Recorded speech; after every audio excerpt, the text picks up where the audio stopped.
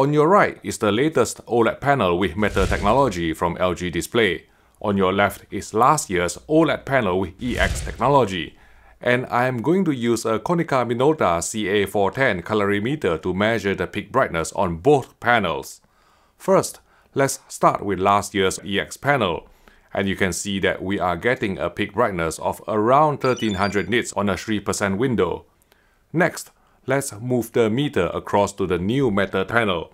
And no, your eyes are not deceiving you because we are measuring a peak brightness of more than 2100 nits, representing an increase of more than 60%.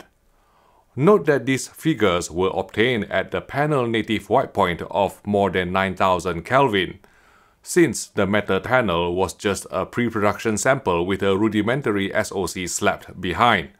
Hopefully you can see that the screen was merely propped up on some makeshift acrylic stand. Obviously, once OLED TVs featuring Meta panels hit the market, I will be measuring their peak brightness at D65 white point.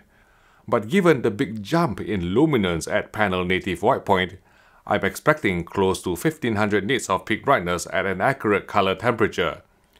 And the brightness increase was not only limited to a 3% window, all other window sizes looked and measured brighter than last year's EX panel too, injecting greater HDR impact to real-world content outside of test patterns.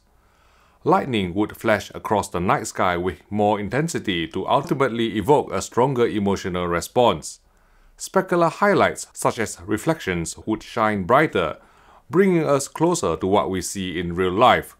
A full field of snow would actually look white, rather than having to be dimmed down to a lighter shade of gray due to more aggressive ABL or automatic brightness limiter circuitry on non-Meta panels. And this luminance boost would have a knock-on effect on colors too, making them appear more vibrant and punchy. In fact, the brightness increase from 1300 nits to 2100 nits at panel native white point represents the single biggest jump in one year from a large-sized OLED screen, so how has LG Display achieved this? The answer is MLA or micro lens array, named by the South Korean OLED panel maker as Meta technology, where a layer of micrometer-sized convex lenses is deposited on the OLED panel to extract higher light output from the screen. To explain, on a normal OLED panel without such technology, a not insignificant proportion of light would be lost through internal reflections within the panel, which is of course less efficient than desired.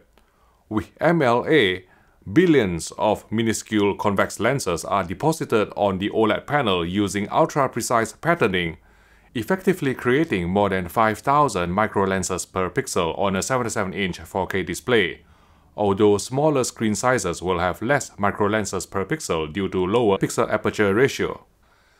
These microlenses have been designed in a specific shape to redirect light that's reflected internally back out towards the screen and eventually the user, drastically reducing light loss and enhancing viewable light output. The improved light scattering from MLA also leads to wider viewing angles, with less off-axis brightness drop and color tinting compared to the EX panel first introduced in 2022. To clarify, all the core technologies found on the EX panel, such as the use of deuterium, as well as higher pixel aperture ratio afforded by the elimination of some metallic sensing lines, which in turn allows for personalized algorithms and narrower bezels, are still present on the new Meta panel. Think of it like a frequent flyer program. At the silver level, you get to select your plane seats earlier and at the gold level you get airport lounge access, but also still get earlier seat selection. So in addition to all the goodness of EX technology, the next-gen Meta technology also delivers increased luminance and wider viewing angles thanks to the deposition of micro-lens array. LG Display has actually gone one step further and implemented a uh, meta booster algorithm that maximizes the peak brightness of different areas on screen by first analyzing the luminance data contained within the input video signal, then optimizing the power delivery to different parts of the panel. If EX panel previously received a 30% boost in full screen luminance compared to a conventional OLED panel without EX technology, then the combination of microlens array and meta booster technologies in LG Display's third generation meta panel should bring about a 60% jump in luminance. Again, we're talking full screen measurements over a conventional non-EX panel. Now, certain quarters may frown upon the use of white subpixel boosting to achieve higher brightness. But the fact is that the vast majority of light sources in the real world have a white rather than a color base. If you look at sunlight, room lights, and specular reflections from other light sources, most of them fall on a spectrum of white of different color temperatures.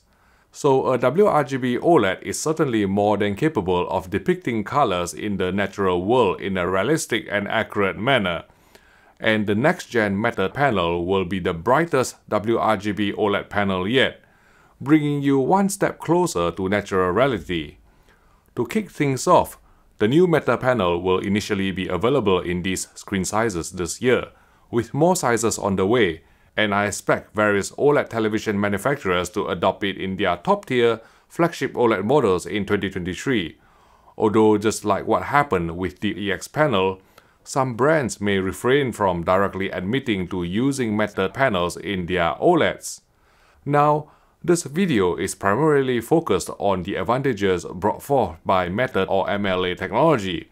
But if you would like to learn more about the key technologies in EX, which are also present in the Meta panel, please watch my coverage video by clicking here.